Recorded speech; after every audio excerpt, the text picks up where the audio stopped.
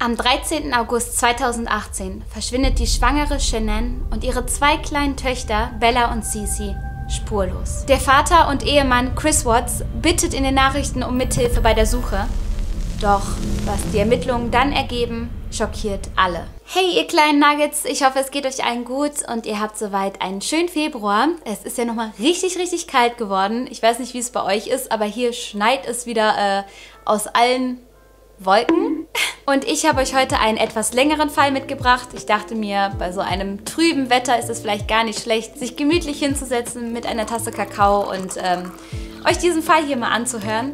Der ist tatsächlich sehr, sehr schockierend und sehr traurig. Es ist, es ist wirklich sehr traurig. Also ich habe lange daran recherchiert, ich habe viele Bilder dazu gesehen, viele Beiträge so dazu gelesen und ich muss sagen, so damn, das geht einem echt nahe. Alle emotionalen Herzen da draußen, ähm, seid gewarnt. Aber jetzt geht's rein in die Geschichte und ich wünsche euch ganz viel Spaß damit. Ach, und äh, ihr könnt natürlich auch ein Abo dalassen und so einen kleinen Daumen wenn ihr Lust habt. Chanel war so Anfang 30 und sie war eine sehr, sehr hübsche Frau. Also sie hatte so mittellange braune Haare und sah immer sehr gepflegt aus, hatte die Nägel immer schön gemacht, hatte immer schöne Klamotten an und galt als Frohnatur. Sie war überall sehr beliebt, also sie war sehr kommunikativ, sehr offen, sehr herzlich und hatte trotzdem eine ganz, ganz schwierige Zeit hinter sich. Sie hat sich vor kurzem erst von ihrem Mann scheiden lassen und danach ist sie krank geworden, hatte depressive Phasen, hat sich ganz doll unsicher gefühlt, sich schlecht in der eigenen Haut gefühlt. Also sie ist da wirklich durch so ein, durch so ein tiefes, tiefes Tal gegangen. Und trotzdem wusste sie schon immer, was sie vom Leben wollte. So, also so schwer die Zeit auch war, sie hatte da so ein ganz klares Ziel vor Augen. Sie wollte ein eigenes Haus haben, sie wollte Kinder haben, sie wollte eine Familie haben und sie wollte mit einem Partner glücklich werden. So, dieses Bilderbuchleben, das war ihr großer Traum. 2010 bekommt sie dann plötzlich eine Facebook-Anfrage von einem gewissen Chris Watts.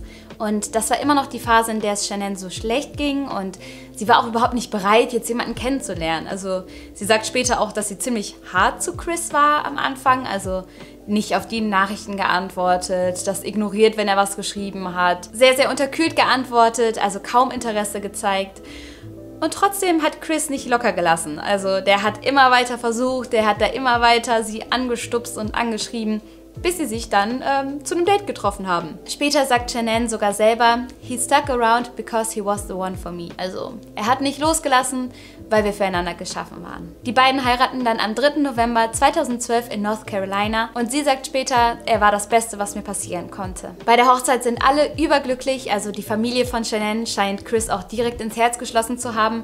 Der Bruder sagt zum Beispiel bei der Hochzeitsrede, I love you both und der Vater wünscht ihnen auf den Wegen viel Glück und viel Segen und es scheint alles sehr, sehr harmonisch und gut zu laufen. Nicht viel später, im Dezember 2013, bekommen die beiden dann auch schon ihre erste kleine Tochter, die sie dann Bella nennen. Mittlerweile leben die frisch gebackenen Eltern in Colorado. Im Juli 2015 kommt dann die zweite Tochter auf die Welt, die nennen sie Celeste oder Celeste? Celeste? Aber das Gute ist, alle nennen sie nur Sisi und das ist leichter auszusprechen und deswegen werde ich sie hier auch nur Sisi nennen. Shannon ist zu diesem Zeitpunkt überglücklich und sie teilt es auch mit ihrer Facebook-Community. Also sie teilt sowieso sehr viel, sie postet viele Beiträge, sie macht Videos von ihren Kindern, von ihrem Mann und liebt es eben auf Facebook ganz, ganz viel zu posten und ja, von ihrem Familienleben zu zeigen. Tell me love them.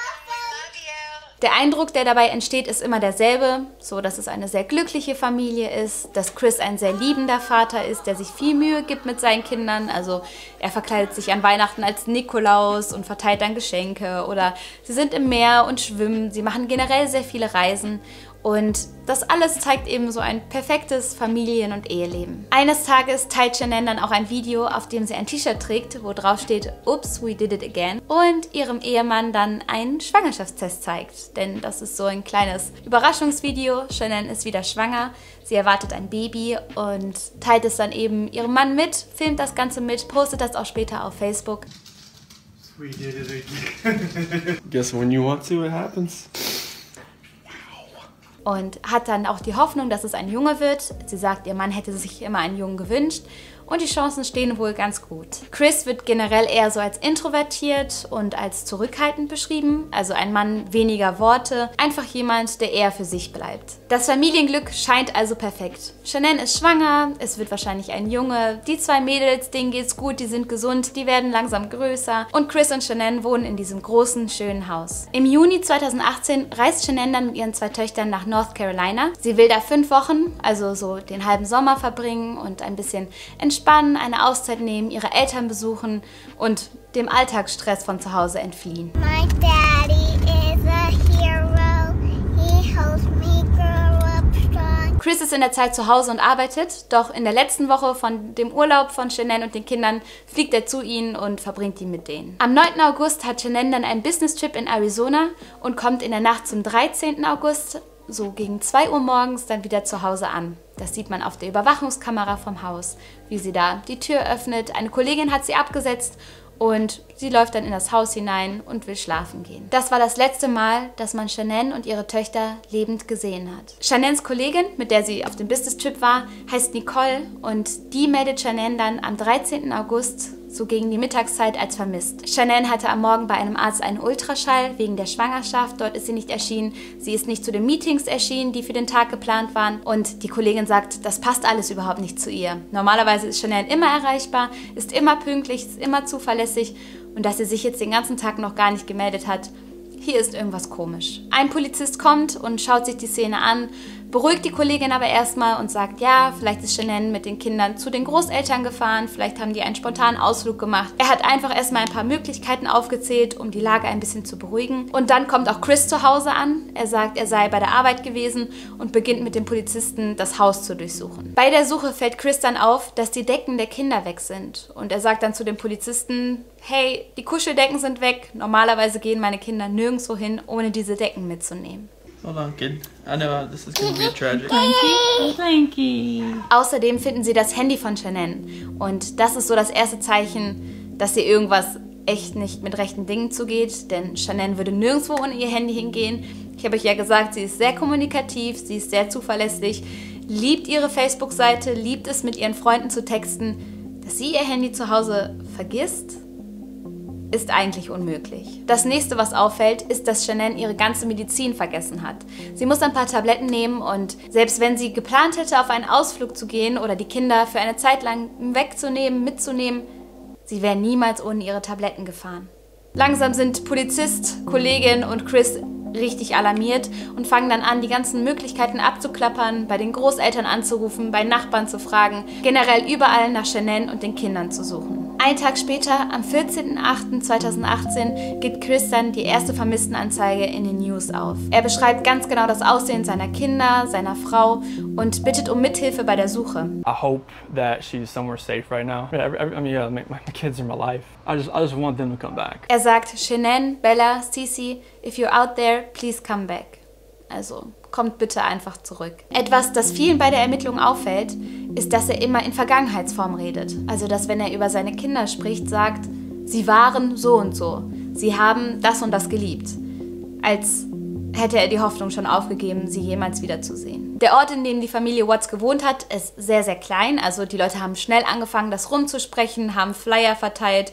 Da haben sich die Nachbarn gruppiert und zusammen sind sie auf die Suche gegangen. Also das Ganze ging sehr, sehr schnell rum und alle wussten davon, dass Shanann, Bella und Cici verschwunden sind. Die Polizei versucht auch mit dem Einsatz von Spürhunden der Sache auf den Grund zu gehen, aber es ist sehr, sehr schwer für die Hunde, eine Spur überhaupt erst aufzunehmen, da das Haus blitzeblank geputzt ist. Also in dem Haus findet man praktisch keine Beweise, es ist klinisch sauber. Oft ist es ja so, dass erstmal die Menschen aus dem engsten Kreis der Vermissten verdächtigt werden und so kommt es auch dazu, dass Chris verhört wird. Über ewig lange Zeiträume sitzt er mit den Ermittlern zusammen und ich stelle mir das ziemlich schwer vor, weil auf der einen Seite ist es ja wirklich so, dass oft der engste Kreis für alles, was so passiert, verantwortlich ist.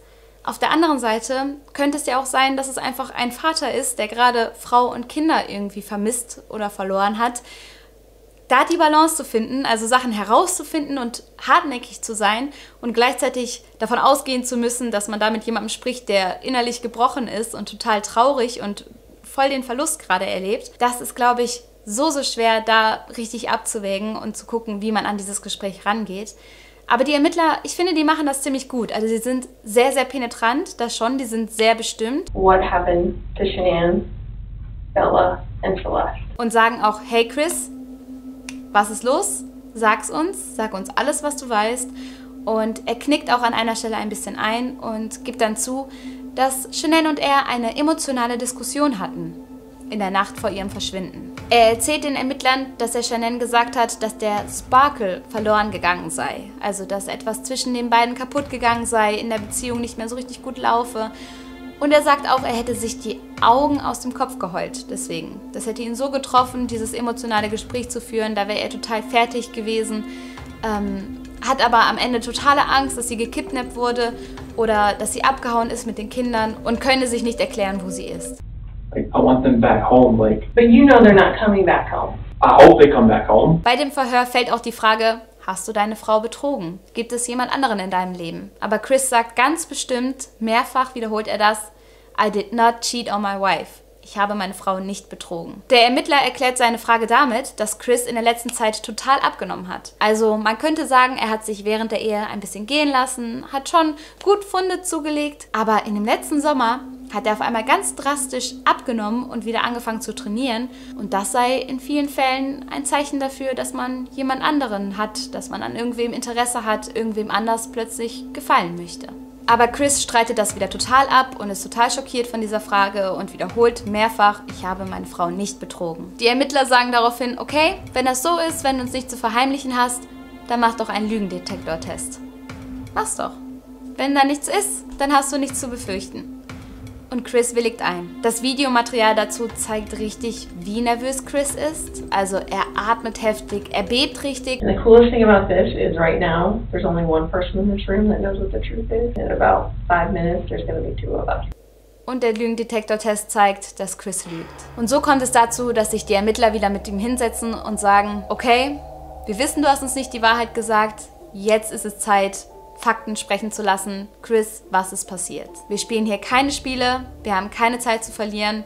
Was ist los? Chris stammelt noch eine ganze Weile so rum und bestreitet und möchte gerne mit seinem Vater reden und kommt mit der ganzen Situation nicht klar. Er wirkt völlig überfordert, weil der Druck der Befragung steigt ja auch stetig. Also sie wissen jetzt, okay, der hat an irgendeiner Stelle gelogen. Sie wollen wissen, was passiert. Sie wollen wissen, ob man den Kindern gerade irgendwie helfen kann, ob man Shannon irgendwie helfen kann und fangen an, richtig auf Chris einzureden. Dann auf einmal ruft eine junge Frau bei der Polizei an. Sie heißt Nicole und sagt, sie sei die Freundin von Chris Watts, die Geliebte. Nicole sagt, ich weiß, er ist ein guter Mann und ich habe Sorge um seine Frau und seine Kinder. Das ist der Punkt, an dem Chris nicht anders kann und zugeben muss, dass er eine Geliebte hat, dass er eine Affäre hat und die Zeit, in der Chanel mit den Kindern im Urlaub war, dazu genutzt hat, um diese Affäre zu treffen. Er erzählt Nicole von seinen Kindern, aber er sagt ihr, er wäre gerade in Scheidung mit seiner Frau und das würde sich jetzt alles in der nächsten Zeit regeln und erledigen. Weitere Fragen kommen auf. Sachen wie, warum weint Chris nicht? Er hat in der ganzen Zeit nicht einmal geweint. Nicht einmal um seine Kinder geweint, von denen er ja anscheinend nicht weiß, wo die sind. Wo man nicht weiß, ob die gekidnappt worden sind, wie es ihnen geht. Nicht eine Träne hat er vergossen. Und das ist natürlich immer sehr schwer zu bewerten. Jeder geht mit so Trauer und Angstzuständen irgendwie anders um. Und vielleicht ist er einfach nicht der Typ, um Emotionen zu zeigen. Aber das sind so Sachen, die sind den Ermittlern aufgefallen. Da haben die sich gewundert. Warum redet er in Vergangenheitsform über seine Kinder? Warum weint er nicht? Chris bittet dann um ein Gespräch mit seinem Vater. Der wartet schon seit mehreren Stunden auf dem Polizeipräsidium und die Polizisten sagen dann, okay, gut, ihr könnt miteinander reden, dein Vater darf zu dir rein. Das wird hier natürlich alles videoüberwacht, aber ihr könnt miteinander sprechen. Chris erzählt seinem Vater dann von dem Morgen des 13. August, erzählt von dem Streit, erzählt von der Verzweiflung, und auf einmal sagt er, I don't want to protect her. Ich möchte sie nicht beschützen. I don't want to protect her.